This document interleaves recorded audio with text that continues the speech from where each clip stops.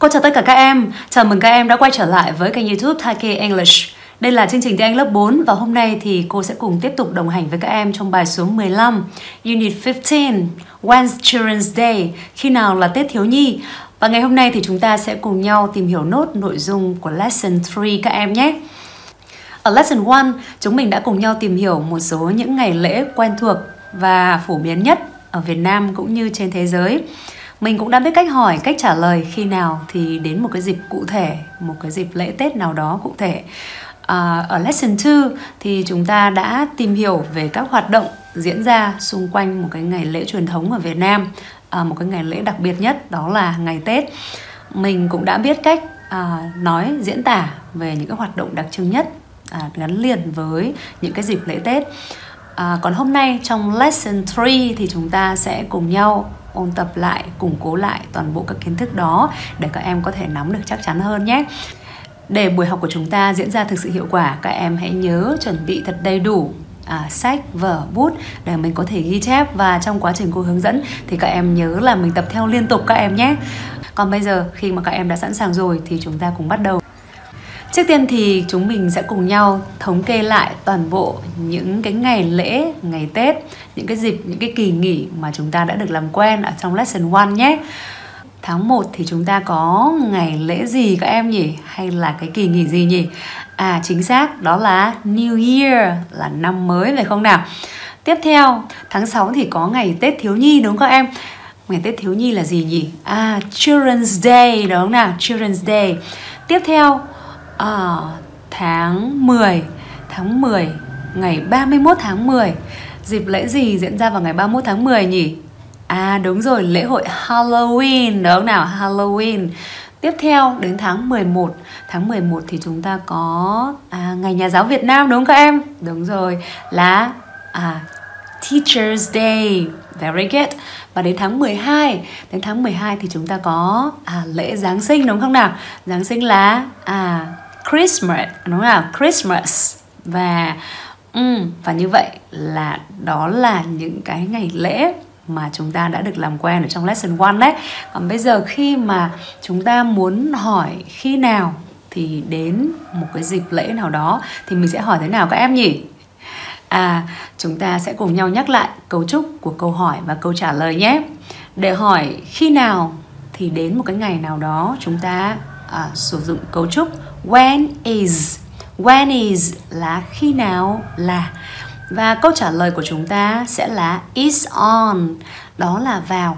Thế thì bởi vì chúng ta hỏi ngày, đúng nào? Chúng ta hỏi về ngày. Và cái dịp mà chúng ta muốn hỏi đến ấy, mình sẽ điền vào cái dấu ba chấm ở đằng sau kia. Còn khi mà trả lời, sở dĩ chúng ta sử dụng giới từ on là bởi vì à, à nó là vào một cái ngày nào đó và cái giới từ đi cùng với ngày, giới từ đi cùng với ngày thì sẽ luôn luôn là on các em nhé nào bây giờ thì chúng ta cùng nhau à, lấy ví dụ muốn hỏi là khi nào thì là năm mới mình sẽ hỏi thế nào các em nhỉ? À đúng rồi. When's new year? When's new year? Có nghĩa là khi nào là năm mới. Ngày lễ năm mới à, New Year thì sẽ diễn ra vào ngày mùng 1 tháng 1 đúng không các em? Và chúng ta có câu trả lời là à is on is on gì các em nhỉ? À ngày mùng 1 là the first of January. Cho nên câu trả lời của chúng ta sẽ là is on the first of January. Is on the first of January. Ở đây, đại từ it đã được dùng thay thế cho New Year để chúng ta không cần phải lặp lại cụm từ này nữa các em nhé. Tức là chúng ta hoàn toàn có thể trả lời là, New Year is on the first of January. Phải không nào? Rồi, tiếp theo à, Bây giờ chúng ta muốn hỏi khi nào Thì đến à, ngày quốc tế thiếu nhi Mình sẽ hỏi thế nào các em nhỉ? À, when is Children's Day? When is Children's Day? Và bây giờ à, ngày Tết thiếu nhi thì sẽ diễn ra vào ngày mùng 1 tháng 6 Mùng 1 tháng 6 là the first of June phải không nào? Và bây giờ câu trả lời đầy đủ của chúng ta sẽ là À, it's on the first of June. Very good. Mình đọc lại lần nữa nhé. It's on the 1st of June. Very good.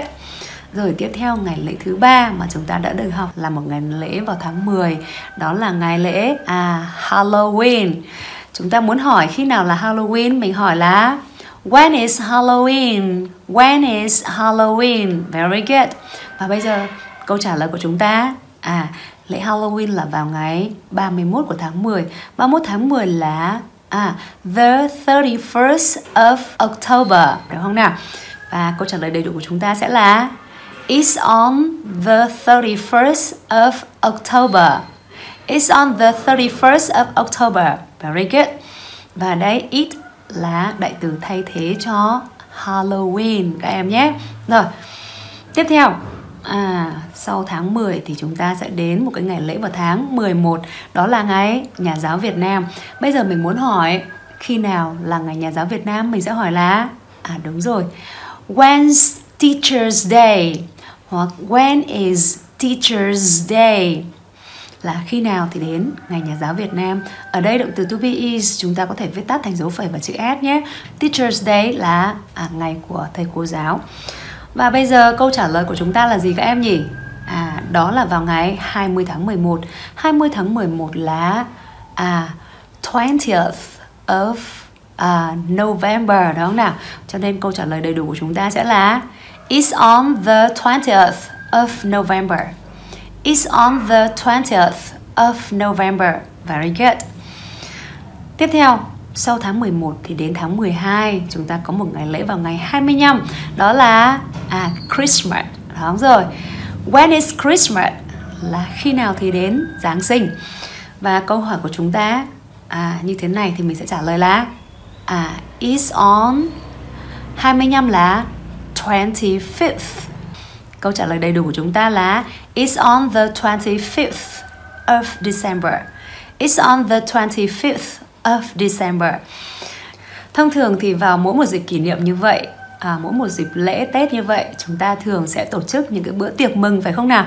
Và bây giờ khi chúng ta muốn hỏi à, đó là tiệc gì thì mình sẽ có một cái câu hỏi đó là What party is it? What party is it? Tức là à, đó là tiệc gì? Và để trả lời cho cái câu hỏi này thì cái mẫu câu của chúng ta đó là It's a party for It's a party for đó là à, một cái bữa tiệc dành cho cái dịp gì đó và cái dịp gì đó thì chúng ta sẽ điền vào dấu là chấm ở đằng sau này các em nhé giả sử như là đó là một bữa tiệc dành cho ngày à, quốc tế thiếu nhi hay là ngày trẻ em đó là It's a party for Children's Day. It's a party for Children's Day. Very good. Thì đó là một bữa tiệc dành cho ngày Tết thiếu nhi. À hay là một bữa tiệc dành cho Halloween chẳng hạn, thì mình sẽ nói là it's a party for Halloween hay là một bữa tiệc dành cho ngày nhà giáo, mình sẽ nói là it's a party for Teachers Day hay là một bữa tiệc dành cho năm mới, thì sẽ là it's a party for New Year các em nhé và tiếp theo thì chúng ta sẽ cùng nhau à, ôn lại các cái hoạt động diễn ra xung quanh à, cái dịp Tết các em nhé. À, Tết holiday, Tết holiday, very good.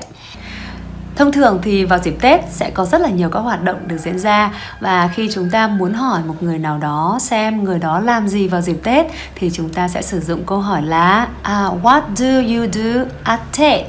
What do you do at Tết? Là bạn làm à, cái gì vào dịp Tết. À, mình đọc lại lần nữa nhé. What do you do at Tết? Very good. Có nghĩa là bạn làm gì vào dịp Tết. Thế thì à, bây giờ chúng ta sẽ cùng nhau thống kê lại xem là mình thường làm gì vào dịp Tết các em nhé. Trước tiên là trước Tết chúng ta sẽ có một sự chuẩn bị đúng không nào? Các cái hoạt động mang tính chất chuẩn bị cho Tết. Thì trước Tết sẽ là before Tết. Before Tết. À, ở đây cái giới từ before before có nghĩa là ở đằng trước ở phía trước các em nhé rồi before Tết là trước Tết thì trước Tết chúng ta sẽ làm các hoạt động gì các em nhỉ? À đúng rồi, đầu tiên là chúng ta cần phải dọn dẹp nhà cửa hay chính xác là chúng ta lau sàn nhà. Thế thì hoạt động này là clean the floor. Clean the floor tức là làm sạch cái sàn nhà, tức là chúng ta có thể quét dọn hoặc chúng ta có thể lau rửa các em nhé. Chúng ta đọc lại nào clean the floor. Ở đây từ floor danh từ floor có nghĩa là sàn nhà các em nhé. Và clean là cái à, cái động tác là làm sạch. Làm sạch là clean. À, clean the floor là làm sạch sàn nhà. À, tức là bao gồm cả các hoạt động quét và lau đấy các em. Và chuẩn bị cho Tết thì chúng ta sẽ mua rất là nhiều hoa đấy. À, Hoạt động mua hoa là buy flowers. Buy flowers. Ở đây động từ buy có nghĩa là mua các em nhé. Buy, Đọc rất là đơn giản, các nào có một âm tiết duy nhất thôi. Và danh từ hoa ở đây là flowers. Flowers. Các em nhớ là mình không mua một bông hoa, cho nên ở đây danh từ hoa chúng ta để ở dạng số nhiều các em nhé. Flowers. Flowers. Very good. Có nghĩa là hoa. Mua hoa là buy flowers, được không nào? Hoạt động uh, thứ ba rất quan trọng trước tết đó là hoạt động mua sắm.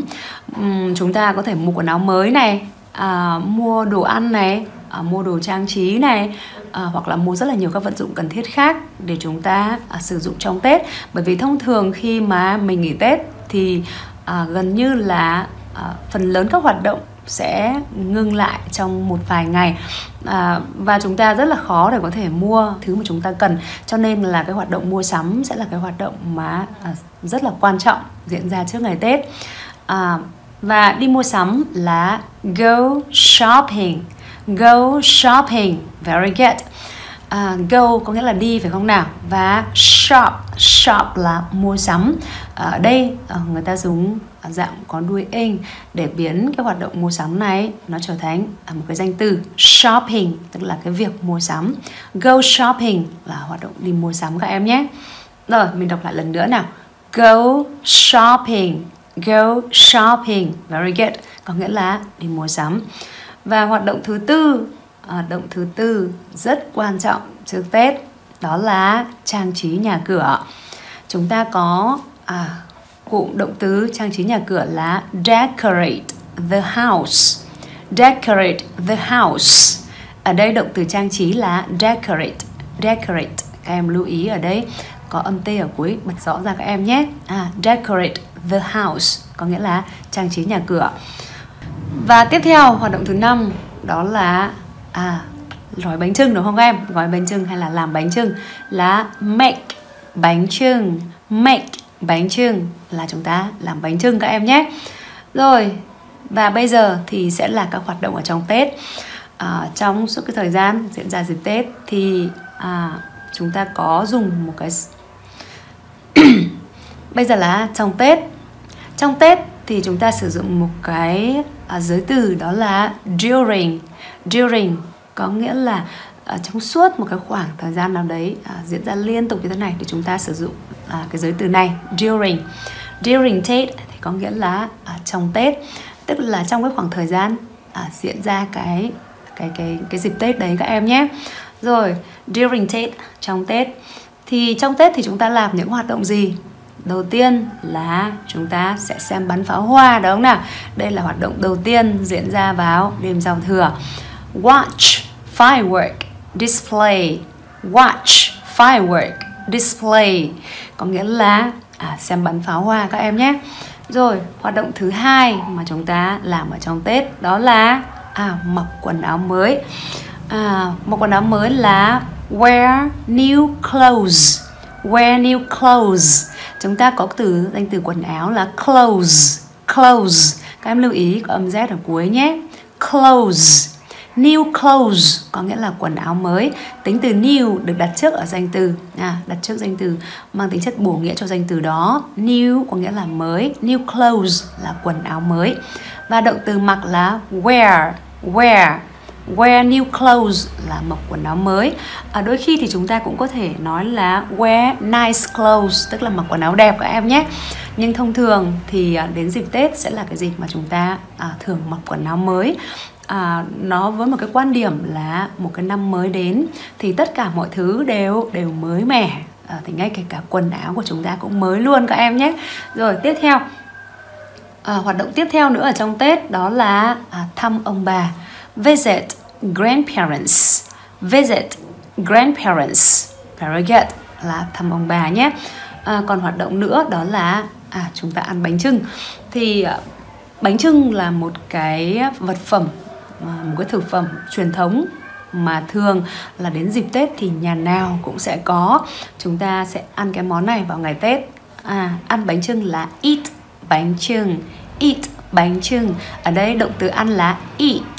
Eat các em lưu ý ở đây âm y kéo dài nhé. Eat bánh trưng very good có nghĩa là ăn bánh trưng à, còn hoạt động gì nữa mà diễn ra trong dịp tết các em nhỉ? À là nhận tiền lì xì. Đây là một cái hoạt động mà tất cả các bạn nhỏ đều rất là yêu thích đấy. À mình cùng đọc nhé. Get lucky money. Get lucky money có nghĩa là nhận tiền lì xì. Thông thường thì ai sẽ được nhận tiền lì xì hả các em? À, thường thì sẽ là các bạn nhỏ hoặc là à, các cụ già.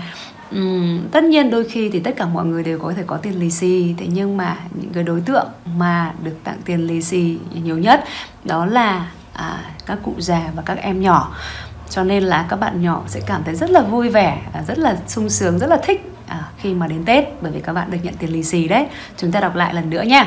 Get lucky money get lucky money very good.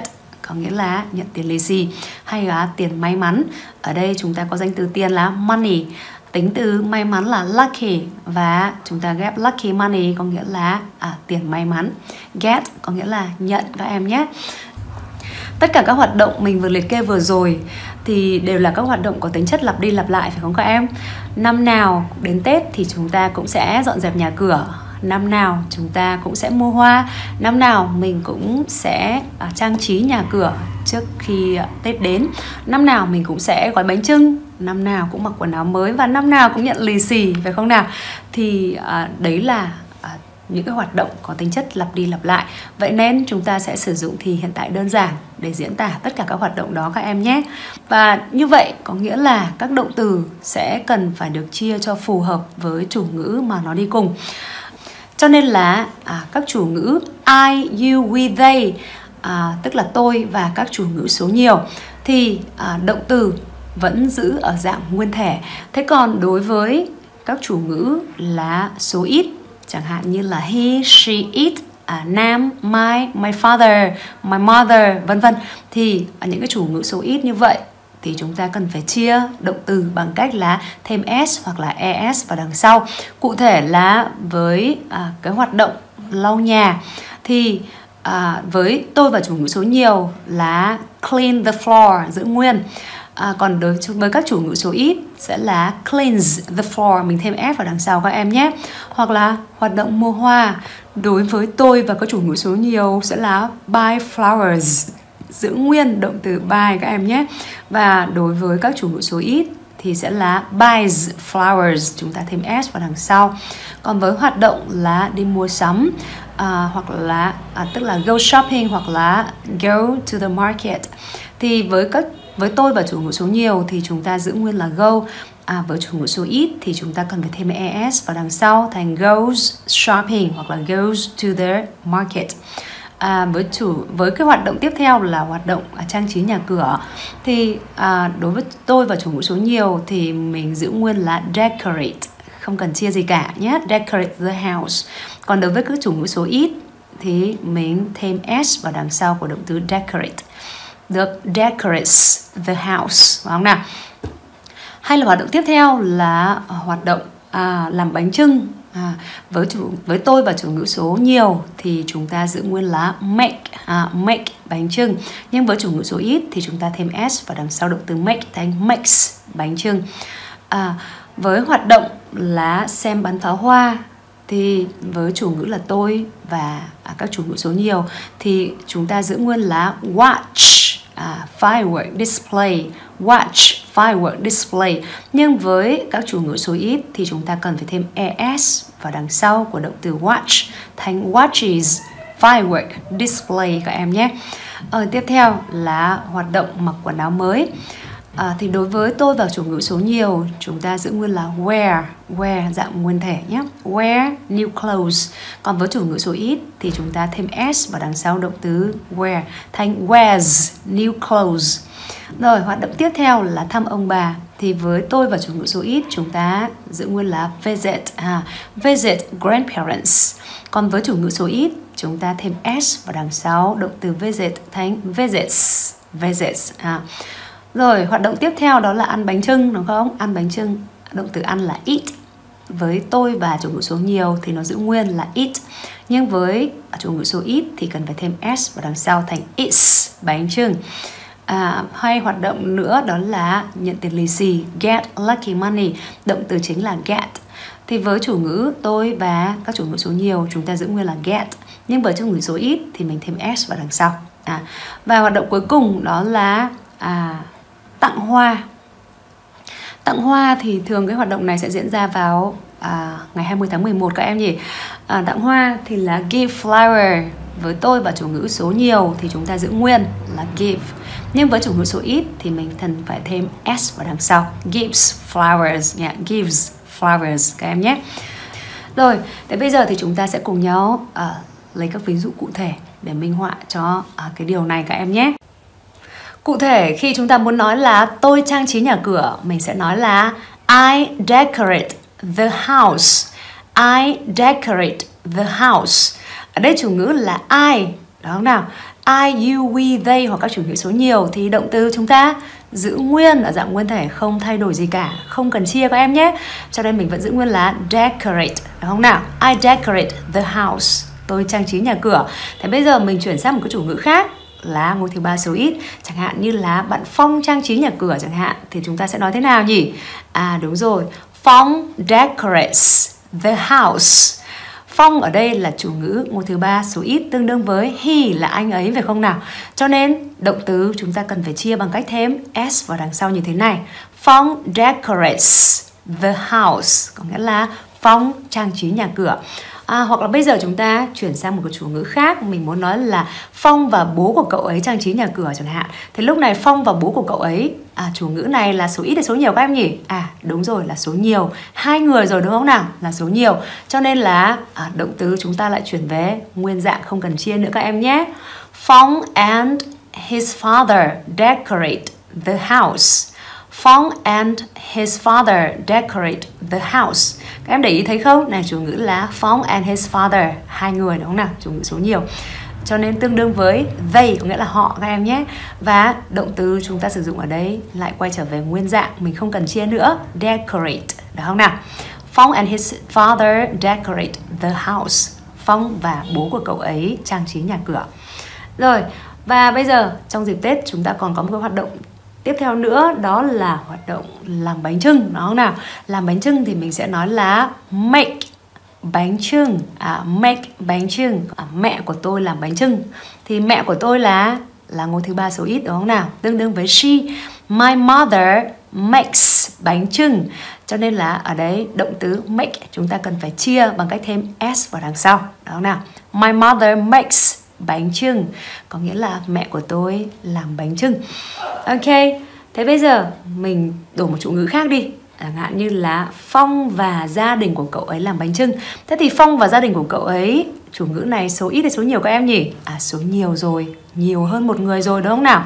Phong and his family make bánh trưng chủ ngữ là số nhiều, cho nên chúng ta đưa cái động từ make này về nguyên dạng là make không cần chia nữa các em nhé. Phong and his family make bánh trưng là Phong và gia đình của bạn ấy làm bánh trưng Ok.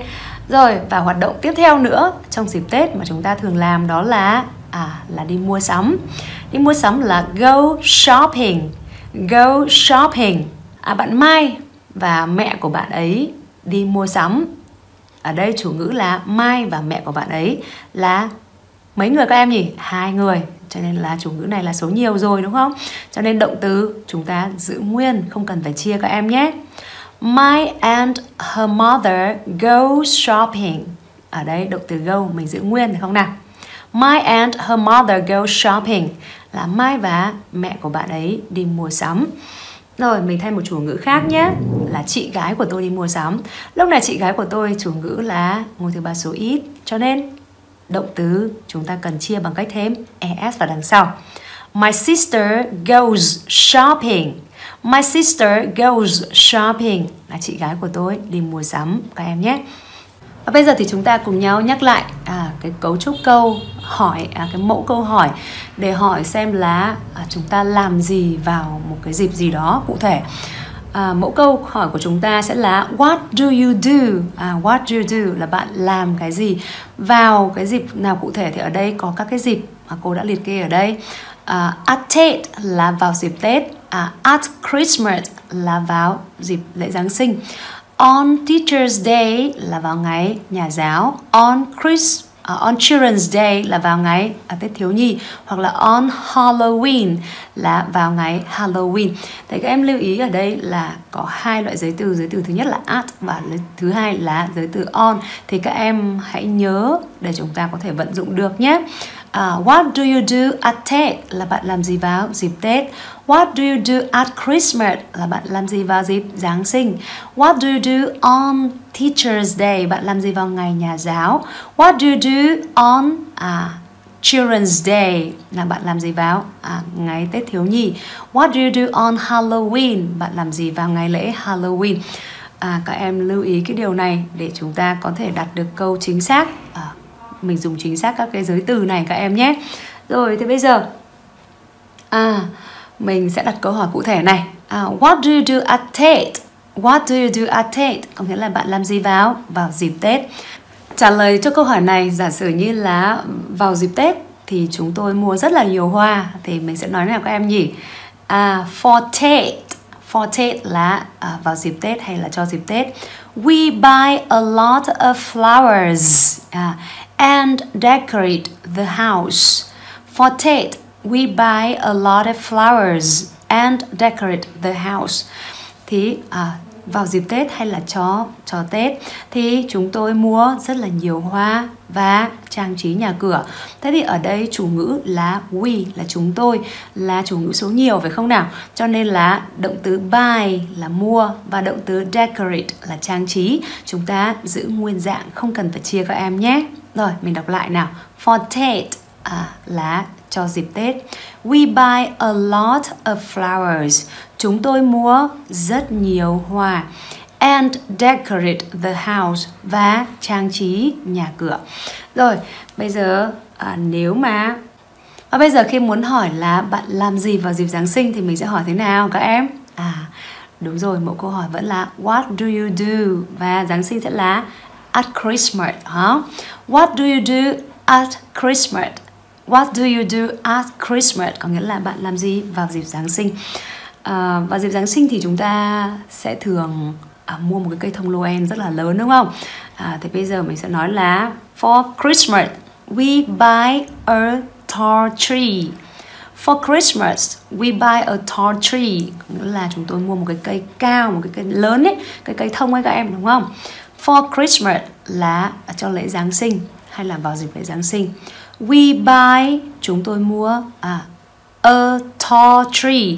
À, a tree là một cái cây đúng không? Và khi chúng ta dùng tính từ tall ở đằng trước của danh từ tree thì có nghĩa là à, tall tree là cái cây cao nhé. À, cho dịp lễ Giáng sinh thì chúng tôi mua một cái cây cao. Ở đây chủ ngữ là we là số nhiều cho nên động từ mua buy chúng ta giữ nguyên không cần phải chia các em nhé à mình đọc lại lần nữa nào. For Christmas we buy a tall tree. Very good.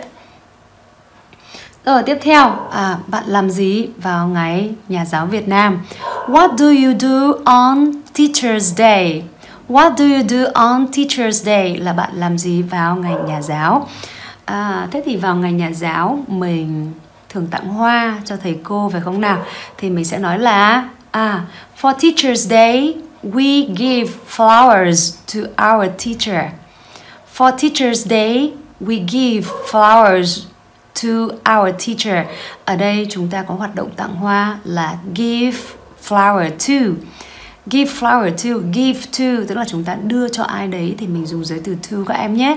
Give to là đưa cho ai give flower to là đưa hoa cho ai à, hay là tặng hoa cho ai? À, give động từ give vừa có nghĩa là đưa vừa có nghĩa là tặng nữa các em nhé. For teachers day là à, cho ngày nhà giáo Việt Nam hay là vào ngày nhà giáo Việt Nam? We give flowers to à, chúng tôi tặng hoa cho.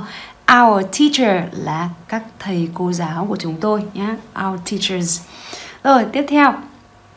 Bây giờ mình muốn hỏi là bạn làm gì vào ngày lễ Halloween? Mình sẽ hỏi là What do you do on Halloween? What do you do on Halloween? Là bạn làm gì vào ngày lễ Halloween? Ok, và vào ngày lễ Halloween thì mình sẽ chơi trò gì các em nhỉ? À, trick or treat. À, thì mình sẽ nói là For Halloween, we play trick or treat. For Halloween, we play trick or treat. Ở đây trick or treat à, là cái tên gọi của một cái à, một cái tục lệ hay một cái trò chơi tức là trẻ em sẽ đi gõ cửa từng nhà một. À, tất nhiên là các em ấy sẽ hóa trang đúng không? Thành các cái nhân vật rất là kỳ dị à, rất là đáng sợ. Giống như là ma hoặc là quỷ hoặc là xác ướp chẳng hạn đúng không? Thế thì à, khi mà gõ cửa như vậy thì chủ nhà sẽ cần phải cho cho kẹo. Nếu không thì sẽ bị à, bị trêu chọc đúng không nào? Thì trick or treat có nghĩa là cho kẹo hay là bị gạo. Thì cái nghĩa mà chúng ta dịch ra tiếng Việt nó là như thế các em nhé. Trick or treat. À rồi, for Halloween, we play trick or treat. À vào lễ Halloween chúng tôi sẽ chơi trò cho kẹo hay là bị gạo. Rồi, tiếp tục. Rồi, mình muốn hỏi là, thế bạn làm gì vào ngày Tết thiếu nhi? What do you do on Children's Day. What do you do on Children's Day? Là bạn làm gì vào ngày? À, Tết thiếu nhi. Vào ngày Tết thiếu nhi thì mình sẽ có một cái bữa tiệc nó không nào? Thì mình sẽ nói là For Children's Day we have a party. For Children's Day, we have a party. Có nghĩa là vào ngày Tết Thiếu Nhi thì chúng tôi sẽ có một cái bữa tiệc. À, Have a party là có một bữa tiệc các em nhé và mỗi khi vào các cái ngày lễ hội như vậy chúng ta sẽ có rất là nhiều niềm vui phải không nào? Mình sẽ luôn luôn cảm thấy à, luôn luôn nhận được rất là nhiều niềm vui. Và chúng ta có một cái danh từ dùng để chỉ niềm vui đó là fun. Fun có nghĩa là niềm vui hay là nguồn vui điều vui các em nhé. Mình đọc lại nào. Fun fun very good và nếu mình muốn nói là có rất là nhiều niềm vui hay là có rất là nhiều điều vui rất là vui vẻ thì mình sẽ nói là have a lot of fun. Have a lot of fun. Thì ở đây cái cấu trúc này chúng ta đã sử dụng rất là nhiều lần rồi đúng không nào? Yeah. have a lot of fun có nghĩa là rất là nhiều nhiều niềm vui. Have a lot of flowers có rất nhiều hoa đúng không? Have a lot of uh, cat là có rất là nhiều mèo. Đấy thì chúng ta sử dụng cái cấu trúc have a lot of là có rất nhiều cái gì đó. Have a lot of fun là rất nhiều niềm vui. Hay có rất nhiều điều vui các em nhé. Ờ, còn bây giờ thì chúng ta sẽ cùng nhau à, giải các bài tập ở trong sách giáo khoa của các em nhé. Chúng ta cùng bắt đầu với hoạt động số 1 hoạt động số 1 là listen and repeat là chúng ta hãy lắng nghe sau đó chúng ta lặp lại.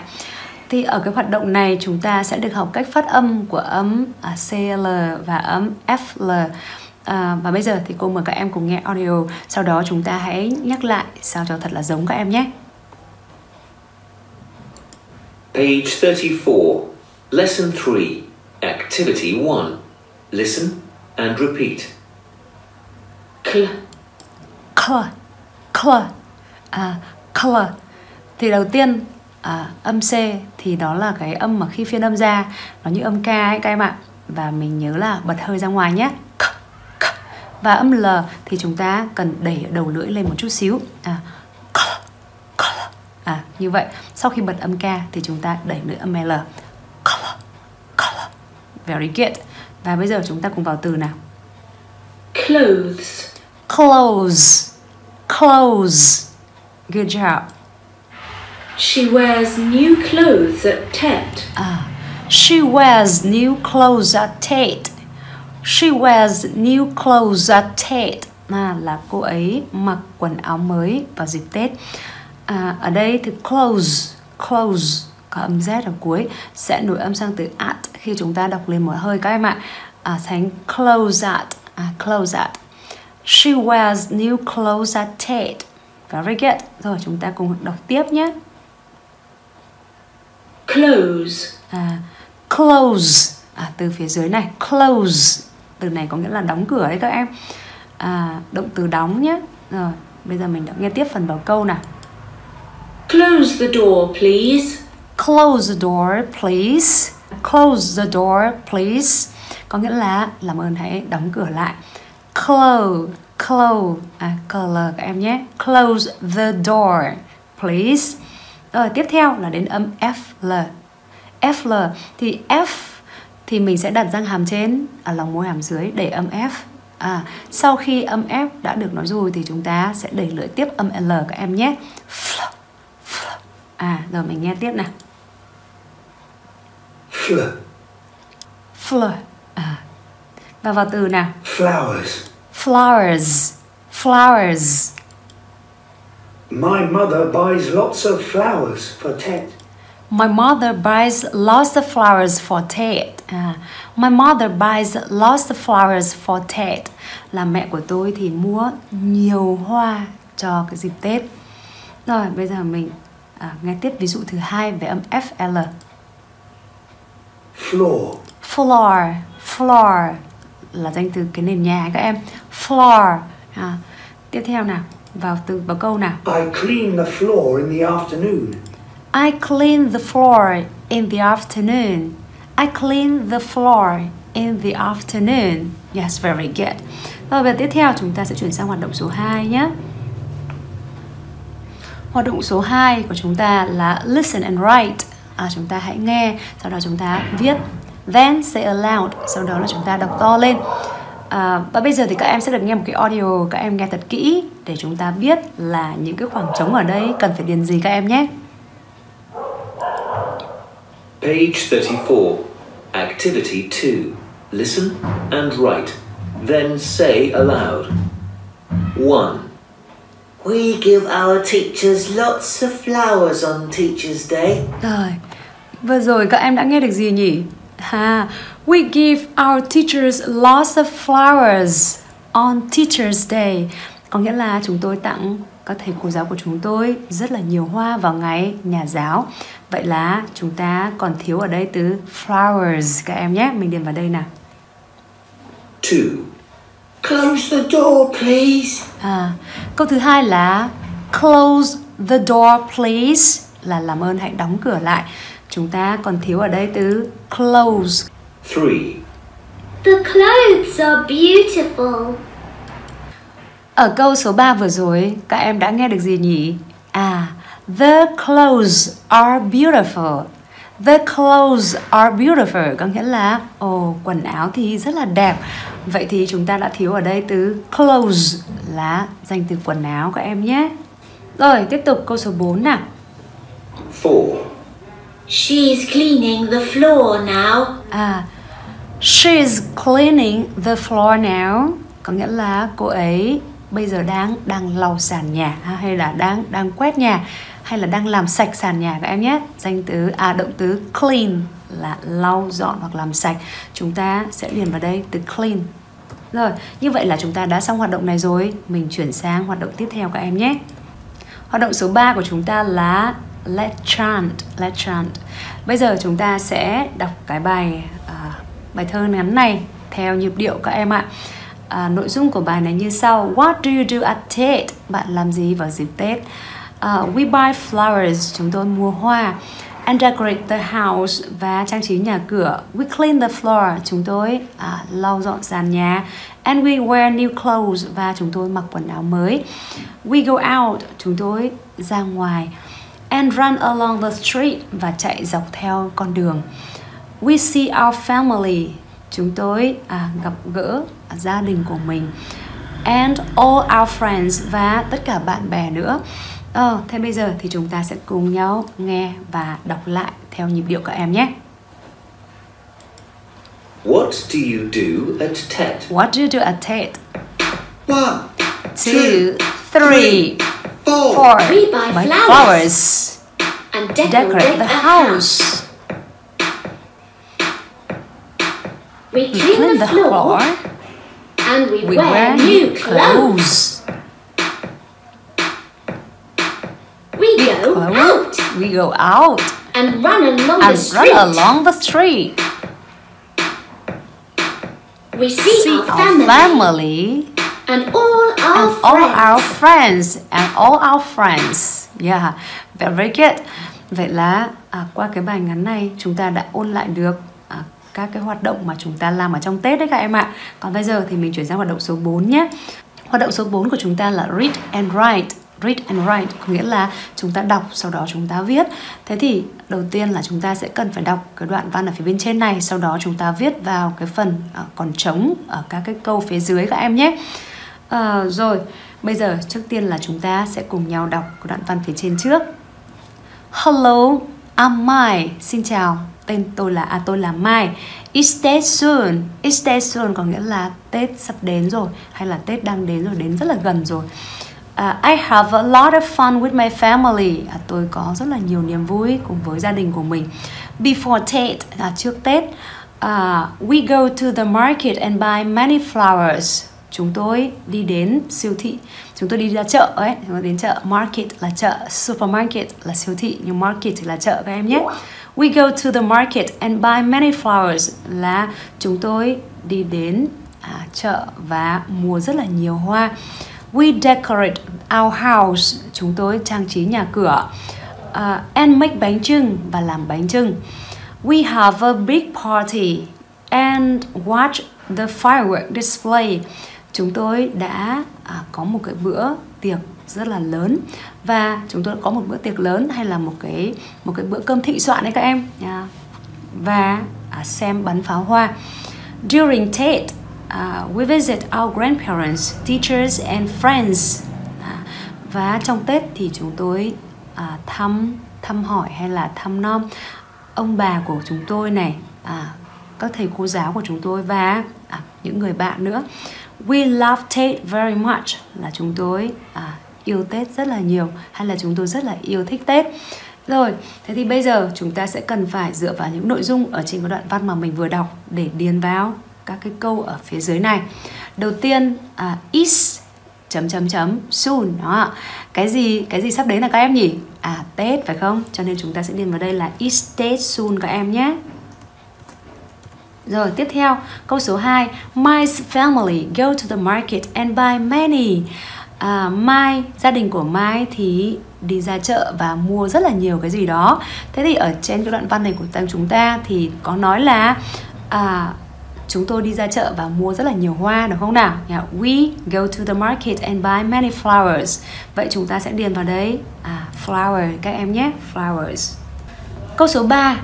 À, they decorate chấm chấm chấm and make chấm chấm chấm à họ trang trí cái gì đó và và làm cái gì đó. Thế thì ở trên cái đoạn văn này có nói là chúng tôi thì trang trí nhà cửa và làm bánh trưng thế thì ở cái câu bên dưới này à, chúng ta sẽ cần điền là decorate um, their house các em nhé là trang trí nhà cửa của họ đúng không nào? And make bánh trưng làm bánh trưng đúng không nào? Ừ. Thì các em nhớ là chúng ta cần phải chuyển cái tính từ sở hữu này nhé. Ở trên cái đoạn văn này thì biết là à, Our house là nhà của chúng tôi. Thế nhưng bây giờ khi chúng ta à, chuyển đổi chủ ngữ thành they tức là họ thì bây giờ chúng ta phải chuyển lại cái tính từ sở hữu là they là của họ nhé. Tức là là bạn Mai và gia đình của bạn ấy thì trang trí nhà cửa của họ chứ không phải trang trí nhà cửa của chúng ta phải không nào? À, uh, they decorate their house and make bánh trưng rồi câu số 4 nào. They watch họ xem cái gì đó. À thế thì ở đấy trên cái đoạn văn này là họ xem bắn pháo hoa đúng không nào? Thì chúng ta sẽ điền vào đây là they watch firework display các em nhé. They watch firework display. Và tiếp theo câu số 5 they visit à, chấm chấm chấm chấm chấm chấm and chấm chấm chấm ha. À, họ thăm họ thăm ai đó à, và ai đó nữa. Thế thì chúng ta sẽ nhìn lại ở trên cái đoạn văn này. Thấy là gì nào? Uh, during Tết we visit our grandparents uh, teachers and friends. Tức là uh, chúng tôi thăm ông bà uh, thầy cô giáo và bạn bè. Thế thì chúng ta sẽ điền vào đây là they visit their grandparents. Đó nào họ thăm ông bà của họ nhé. Họ thăm ông bà của họ thầy cô giáo của họ và bạn bè của họ chứ không phải là thầy cô giáo hoặc bạn bè của chúng ta. Chúng ta không thể dùng là our được các em nhé. Our có nghĩa là của chúng tôi. À, còn their uh, or their thì mới là của họ nhé. Và lúc này à, đây là một cái câu tường thuật một cái câu trần thuật câu kể lại. They là họ tức là bạn Mai và gia đình bạn ấy đấy. Thì chúng ta sử dụng à, đại từ nhân xưng they là họ. Thì bây giờ chúng ta phải viết là họ thăm à, ông bà của họ nhé. Như vậy là chúng ta đã hoàn thành hoạt động số 4 Bây giờ mình chuyển qua hoạt động số 5 các em nhé. Hoạt động số 5 của chúng ta là Write about your Tết, Là hãy viết về à, Tết của bạn. Thế thì bây giờ chúng ta sẽ cần phải viết xem là trước Tết thì mình làm gì à, và trong Tết thì mình làm gì các em nhé. À, đây là một cái phần kể lại các hoạt động cũng rất là đơn giản thôi. Mình hãy dựa vào các hoạt động mà chúng ta đã được học trong bài để chúng ta có thể viết. À, ngoài ra nếu mà các em có những hoạt động nào khác thì các em hoàn toàn có thể tra từ điển và mình dựa vào các mẫu câu để chúng ta có thể viết được nhé. Trước tết thì chúng ta làm gì nhỉ? À trước tết thì như cô thì cô sẽ à, mua quần áo mới này mua hoa này à, làm sạch nhà cửa này. À cô mua bánh trưng nhá bây giờ cô sẽ viết vào đây nè rồi tiếp theo during Tết là trong Tết thì chúng ta làm gì? Trong Tết thì cô sẽ à cô sẽ tặng lì xì cho bố mẹ này. À cô tặng lì xì cho các con của cô này. À, cô cũng à, đi thăm bố mẹ này và cô cũng đi thăm các thầy cô giáo nữa. Thế thì bây giờ cô sẽ viết vào đây nhé à I give lucky money to my children. À, hoặc là I give lucky money to my parents. À, thì cô sẽ viết vào đây nhé. Rồi. During Tết I give lucky money to my parents. Visit my grandparents my teachers and friends. À tức là trong Tết thì cô tặng lì xì cho bố mẹ của cô này. À, thăm ông bà này và à, thầy cô giáo và bạn bè của cô nữa. À, thì đó là những cái hoạt động mà à, cô làm ở ở trước Tết và trong Tết. Thế còn hoạt động của các em như thế nào thì các em hãy à, điền một cách tương tự như vậy các em nhé. Mình có hoạt động gì thì mình điền vào. À, đôi khi à, trước Tết thì có thể là mình mặc quần áo à, mình à, đi mua quần áo mới Uhm, có thể mình về quê có thể là mình dọn dẹp nhà cửa có thể là mình làm bánh trưng vân vân thì mình điền vào. Và trong tết thì có thể các em à, đi du lịch hoặc các em đi tham quan hoặc các ông đi thăm ông bà về quê à, hay là đôi khi có thể chỉ là mình đi đá bóng thì không sao cả mình có hoạt động gì thì mình hãy điền vào đây các em nhé. Rồi à, và chúng ta chuyển sang hoạt động cuối cùng hoạt động số 6 hoạt động số 6 của chúng ta là một dự án. À, dự án của chúng ta đó là make a greeting card for Tate then write wishes to your friend tức là chúng ta hãy à, làm một cái thiệp chúc Tết các em ạ. Greeting là chúng ta à, chào hỏi hay chúc mừng đấy make a greeting card for Tết là hãy làm một cái thiệp chúc mừng à, tiếp mừng Tết. Then write wishes to your friend và sau đó là hãy viết những cái điều ước à, dành cho bạn của em. Được không nào? À, ok thì bây giờ cô sẽ làm mẫu một cái thiệp các em nhé. Rồi thế thì đây là cái thiệp mà cô sẽ làm để tặng cho bạn của cô à, bên ngoài của cái thiệp thì sẽ như thế này. À, có from là từ ai đó yeah, from à, chẳng hạn như cô tên là Ngọc Mai. À, cô sẽ viết là from Ngọc Mai là từ Ngọc Mai. À, tất nhiên Ngọc Mai thì không phải tên của cô rồi nhưng cô đang đóng giả đấy. À rồi tiếp theo à, gửi cho ai thì chúng ta viết là to. À, chẳng hạn cô muốn gửi cho bạn Linda cô viết là to Linda. À rồi và phía bên trong này thì cô sẽ ghi lời chúc các em nhé chúng ta hoàn toàn có thể có lời chúc cả từ bên ngoài đến bên trong. Ở bên ngoài là cô ờ, mang tính chất là trang trí thôi. À, cô cũng ghi lời chúc ở bên ngoài này. May the new year bless you with health, wealth and happiness. À, tức là à, cầu cho à, năm mới thì bạn sẽ được khỏe mạnh giàu có và hạnh phúc. Thế thì à, cô sẽ viết cái lời chúc này à, thật cẩn thận vào bên trong ở cái thiệp này các em nhé. Và lời chúc tết của cô như sau. To Linda. À, gửi tới Linda wishes. Wishes là là những cái điều mong ước. À, may the new year bless you with health wealth and happiness. À, thì đây là những điều mong ước này. À, bless you with health. Health có nghĩa là sức khỏe các em nhé. Và wealth. Wealth ở đây là sự giàu có và happiness là sự hạnh phúc. À, mong là năm mới à, thì bạn sẽ có được cái sự à, mạnh khỏe giàu có và hạnh phúc. From ngọc mai là từ à, từ ngọc mai đó. Tức là từ cái người gửi. Đây là cái lời chúc của ngọc mai các em ạ.